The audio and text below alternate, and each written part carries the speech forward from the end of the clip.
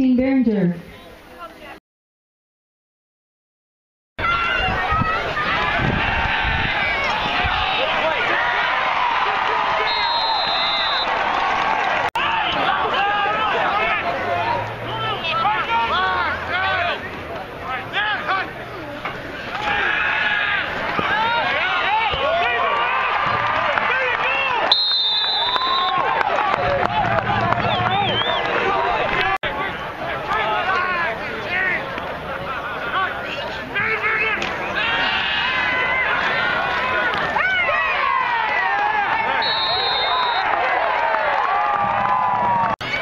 Taking it out. 35-yard field goal. That would have been a very interesting play in the throw.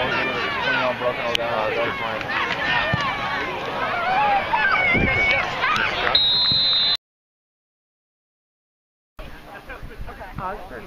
Okay. All right.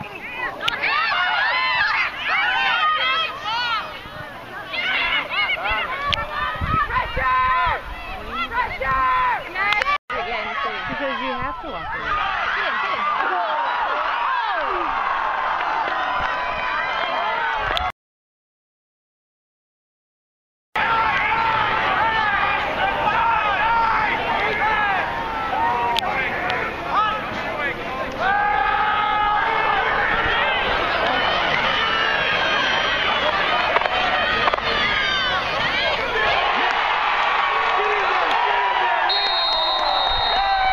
A thing of beauty is a joy forever.